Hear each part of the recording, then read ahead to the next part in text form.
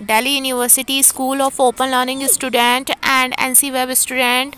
A good news is here. Just you have to enter your roll number and uh, you will get your scorecard or you can say that you can see your uh, mark sheet you can check your marks and you have submitted your assignment uh, uh, in month of august september and in uh, second june also second phase sorry and uh, your result is in a waiting period. Finally a student regular student your result uh, uh, has been announced before but uh, solo student and civil student were waiting along so that's why now i'm telling you about your result. Eh, i'm talking uh, regarding activated link so listen carefully. I'm telling you that your result you have to just go in uh, sol.ac.in you have to open this website enter in your any browser and then just uh, continue to website. A home page will open and uh, uh, you have to press that uh, you have to enter continue to website and uh, then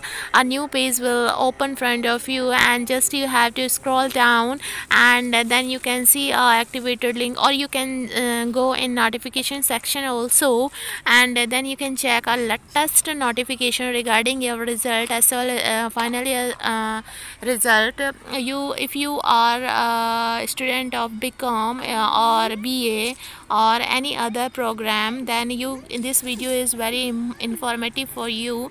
But student I am uh, clarifying here one thing that your result uh, your result you know before uh, before one day uh, who were undergraduate student bcom ba that uh, that result has been declared. But finally a student your result is in awaiting period. So if you visited in this channel first time please subscribe this channel and don't forget press bell icon. Thank you very much